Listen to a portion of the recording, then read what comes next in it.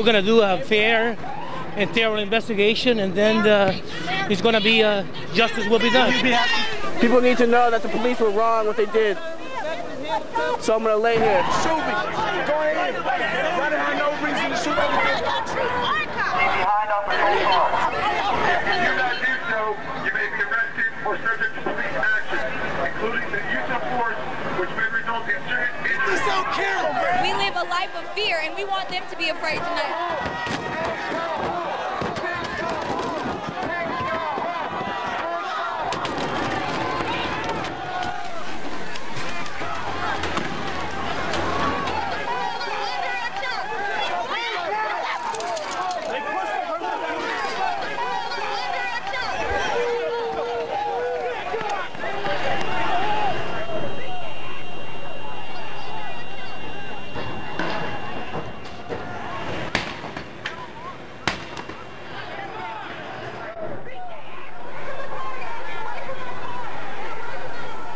Away from the car.